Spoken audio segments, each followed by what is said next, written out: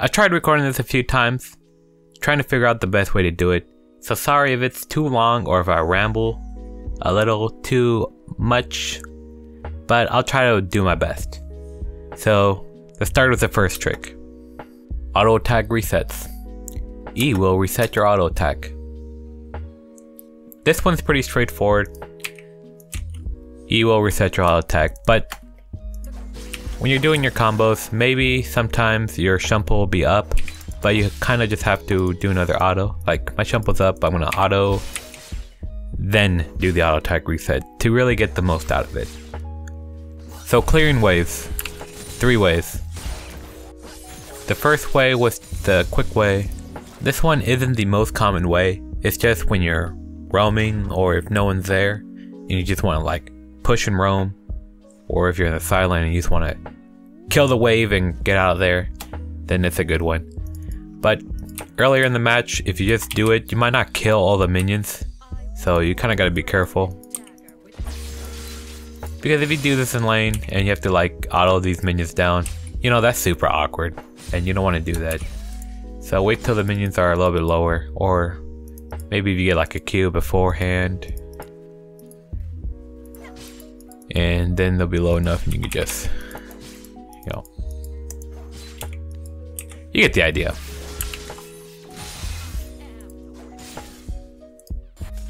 So this is one you'll be using in lane the most because, you know, you'll have an opponent who's trying to poke you and hit you with skill shots and whatever. And you're going to be jumping to the edges of your dagger to try to be as hard to punish as possible. So let me show you what that kind of looks like. Let's say the guy's like right here or whatever, right? You cue the minion. If you jump right here, it's to be really easy to hit you. So you're to jump like on the edge, right? Then move around into your minions. It's to be hard to hit you. Right? You see how that's a lot harder to punish than just jumping in and trying to clear the whole wave like a dummy. So clearing minions under your tower, this one's a little bit harder to do, but not that hard.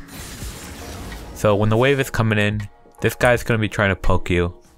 So you're just going to W here, and you want to know where you're going to escape. So I'm going to escape to here, jump in, clear the minions, and jump back.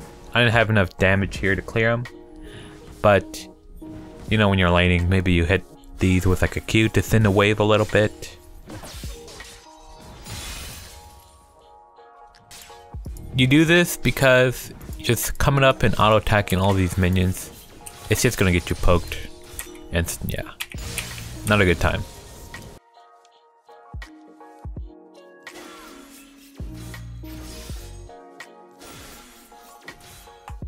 WE, uh, not much to it, you know, just WE. You have to be really close to the wall. So, like, just click right on the wall. WE. If you W and then wait, you can pick up the dagger and you'll have your Shunpo back up.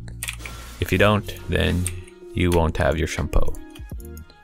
Depending on the thickness of the wall, you can actually pick up your uh, dagger after the WE. Here. There you go. Yeah.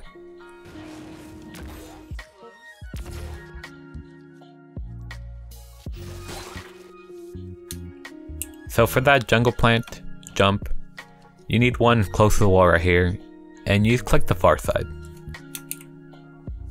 You can jump to this blast cone here, right?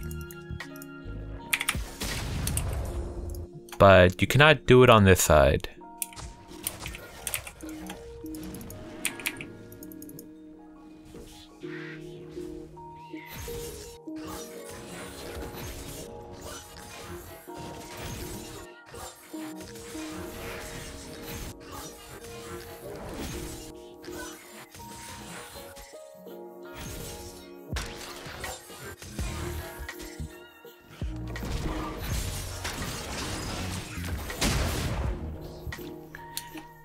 So a lot of these jumps with the jungle monsters are just like lining it up with the wall and getting it over. Or with this one, if you get it close enough to the wall, you can just it to the far side and jump over. This one's actually easier to do than the red for some reason. So use cue this camp in like this general area. It's not very specific. Like I can just click around here, right? Then you walk down, jump over right here. Like it's actually pretty consistent. This jump, this one was kind of just a flex, but I don't know if you want to go check out this jungle camp for some reason, uh, you can do that. So jumping off of people to go over the wall, it's just kind of like the junk plant up here in the river. So if someone's right next to the wall, you just jump to the far side of them, and you'll go right over the wall. This right here you might not get at first, but it's not that hard. So let's say you queue someone right and you accidentally make the dagger go over the wall. You can jump out to the far side and still pick up the dagger.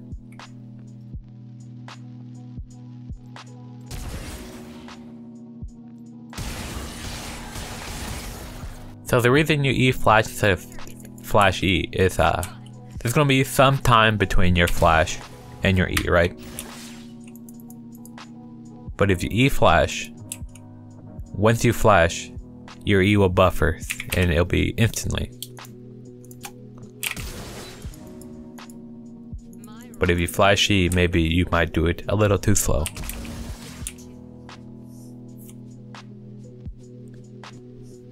Be careful, because if you're out of range and you try to E-flash, you'll do this weird stop, and then you'll walk and then jump. It's really ugly. Like, I pressed E-flash right there at basically the same time, and it just was really awkward.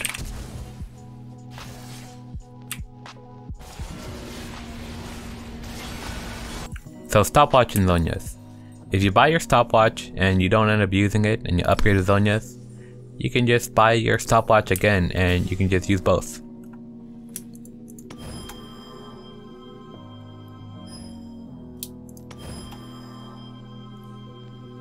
You can only do that once a game because your stopwatch will stay broken.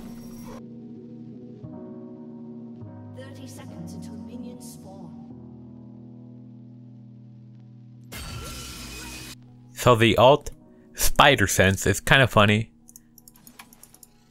So if you're playing against a team or something and they try to go invisible in the bush, you can just see them. Your alt will light up and you just ult. And you might even just kill them like that. You'll certainly surprise them and just scare them. Also, if you know someone's recalling and you're walking down maybe to like bot lane or something it carries recalling in one of the bush in one of the bushes. You just walk down here, you spam R, and bam.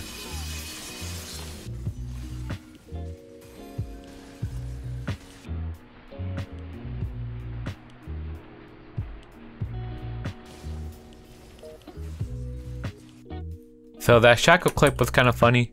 It's really good against LeBlanc because once she's under like 30 HP, she'll go invisible and you can watch the daggers travel and it'll give you a much better idea of who's who. So if she's walking in one direction, the clone's just gonna walk like parallel or perpendicular rather to where she's walking and it's kinda obvious unless they're super good at LeBlanc and they knew it was about to pop then they could really trick you. But if you ult before it pops, you have a pretty good idea of who's who. So this one's the most important trick, so I recommend this trick a lot.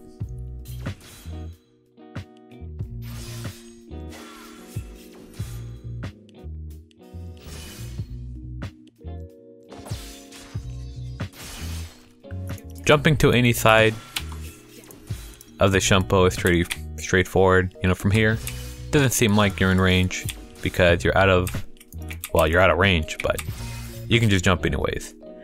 So when you're chasing someone, don't feel like you have to pick the close side because you just want to jump on them. You can pick the far side and it's like the same thing. It's also for like Baron or something. I don't know why you jump on the far side of Baron, but hey, maybe there's a really big Cho'Gath and you want to jump on the far side, well, you can.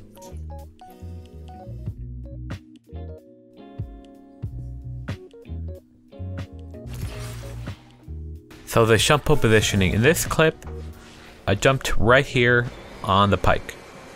So that's really important because I knew he was gonna like ult or do something. So I wanted to jump on the far side because if I jumped on the other side, I would have just gotten hit by the ult and died. So by optimal reset usage, I pretty much just mean using your abilities before you get a reset. So that Q, W, E, I forgot to write an E here, but it doesn't really matter. It's just the W reset W. It was a really small time to get the extra W in, and I pretty much just spammed W when I jumped in on him. And you know, sometimes spamming is good because it's hard to get all those W's in when you're getting resets really fast.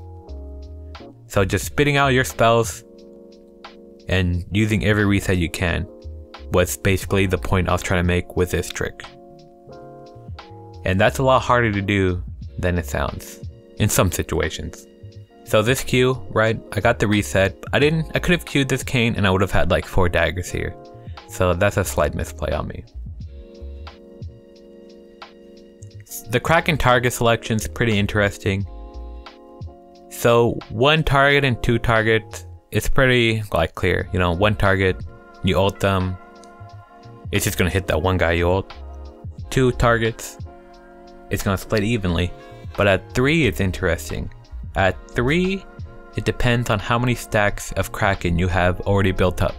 So here, I have zero stacks of Kraken. You can see my status bar, I haven't autoed or anything at all. So at zero stacks, it's gonna hit the furthest target from me. This one's the furthest target. So bam, you can see this one took the most damage. I walk up. Now the bottom one is the furthest. He's gonna take the most damage. So you see that Kraken proc on him. So here, zero stacks. Furthest target. Right, look how different that damage is. 1429, because he's taking most of the Kraken procs. So now I'm gonna have one stack.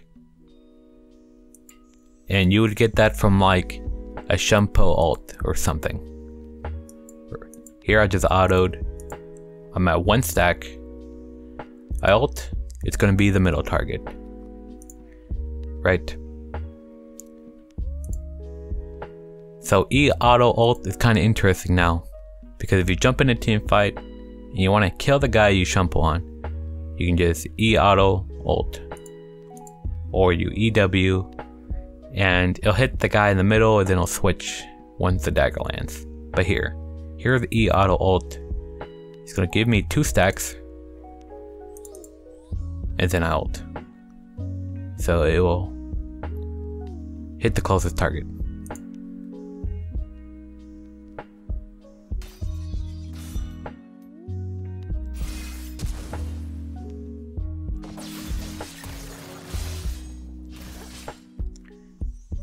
So the point I was trying to make with this trick was knowing exactly how your Shunpo works.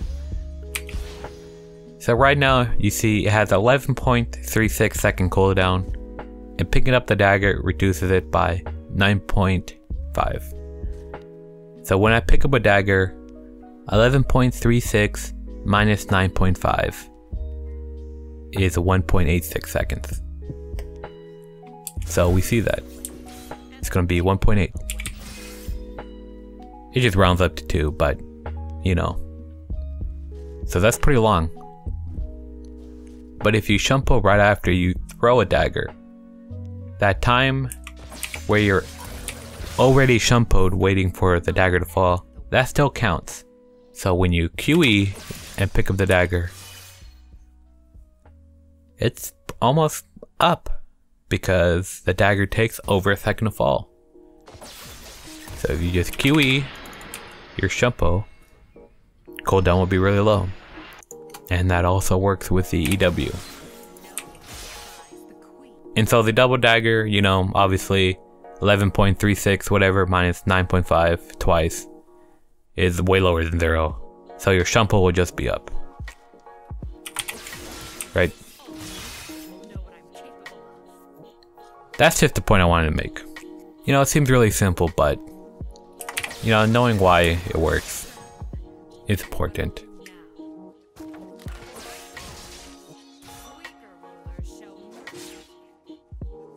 So the Q minion aggro range is kind of important because if someone gets out of line, you want to know that you can just like Q them and you won't take any minion aggro, right? And that was kind of the biggest point. Someone getting out of line, you can just kill them. You won't take minion aggro. Or if like you're kind of far from the minions, you can kill them and just like walk backwards. And let's say you're here, you can kill them, jump away, and yeah, you'll be safe. I get hit by one there. But you know, it's mostly for people getting out of line or walking up too far.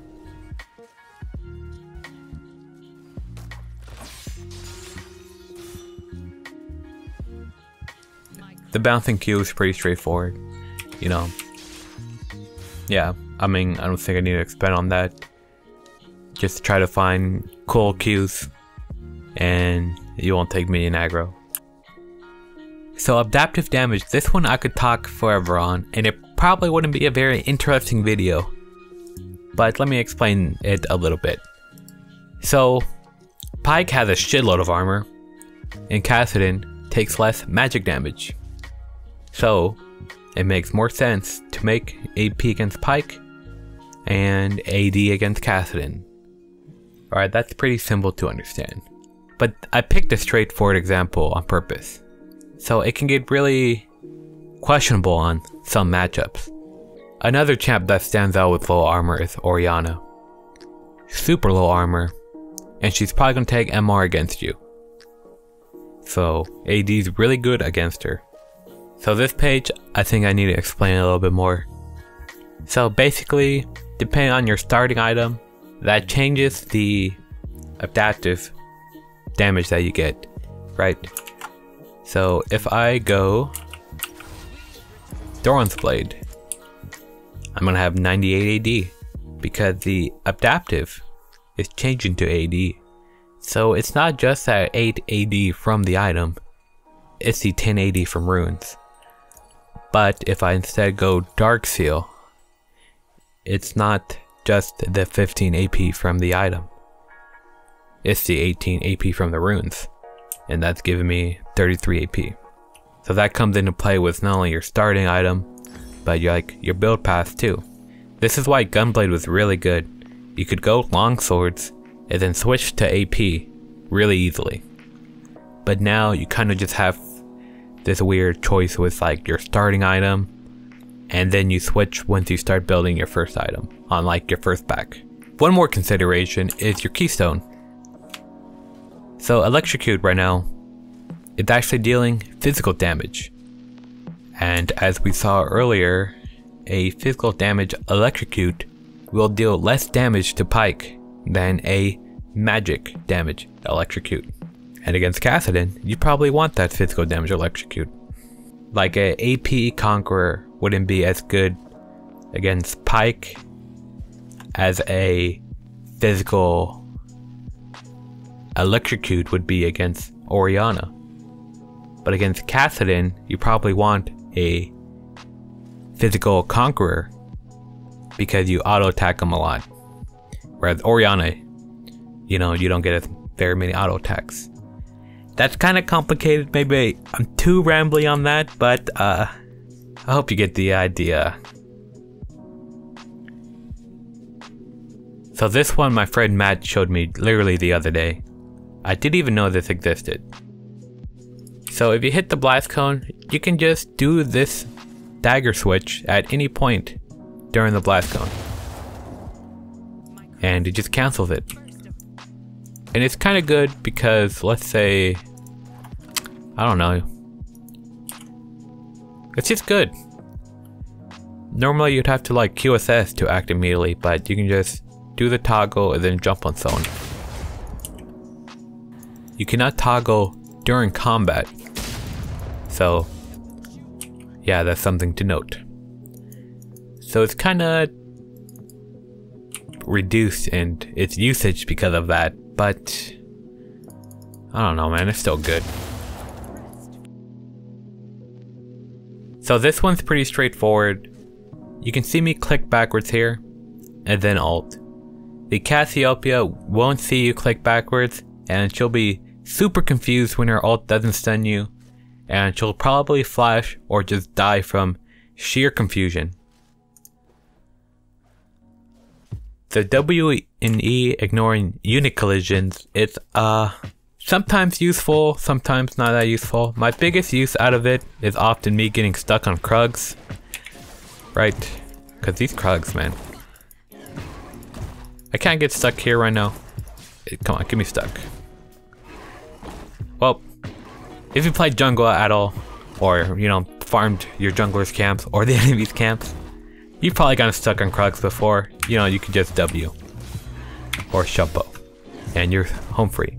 But you probably Shunpoed over the wall to even get stuck in the first place. So yeah, just W. And you're free.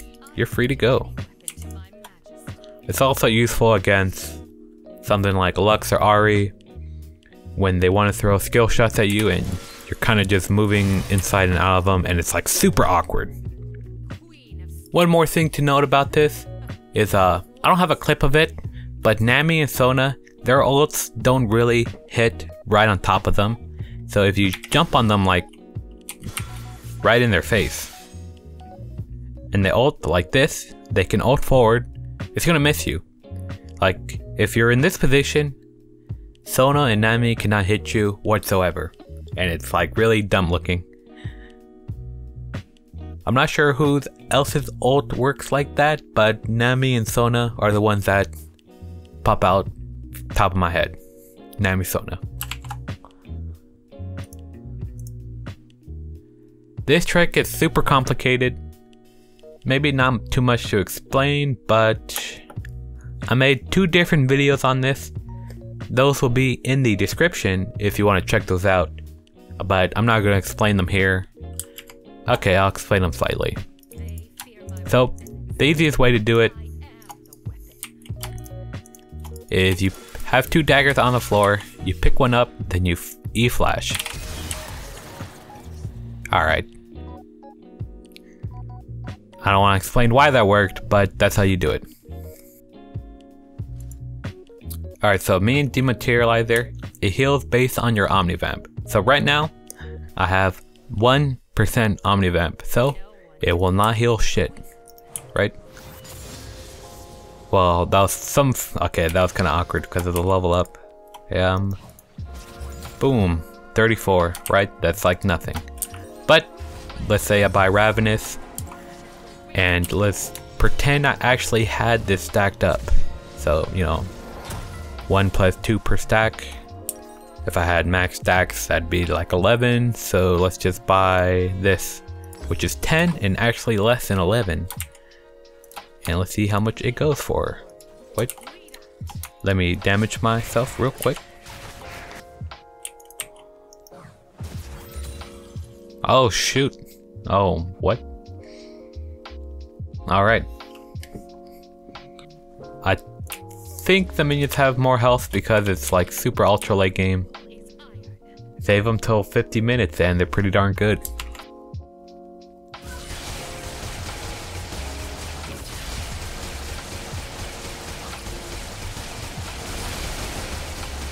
So the double Kat ult, there's not too much explanation to it. You know, you use alt, and then cancel it and alt again super quick. Use alt, you click and you alt again. Right, there's one alt, one alt, that one's two. You can tell it kind of sounds different. It's kind of tricky to see because you don't always get that weird sound.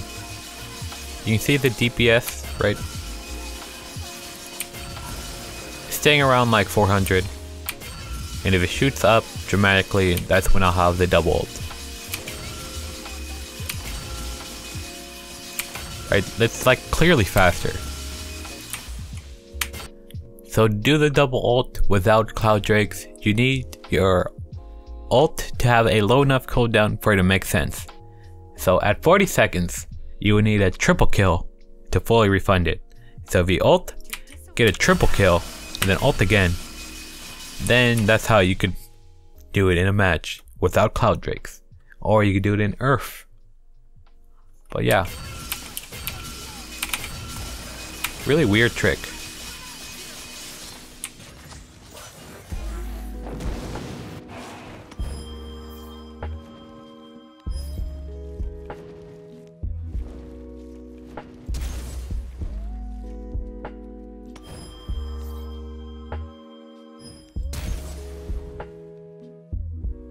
So I thought this trick was patched out, and it actually isn't for some reason. And it's not hard to do. You go out of range, E Zhonya's, and then you flash. I'm not pressing anything here. Watch. Flash. Bam. It works every time.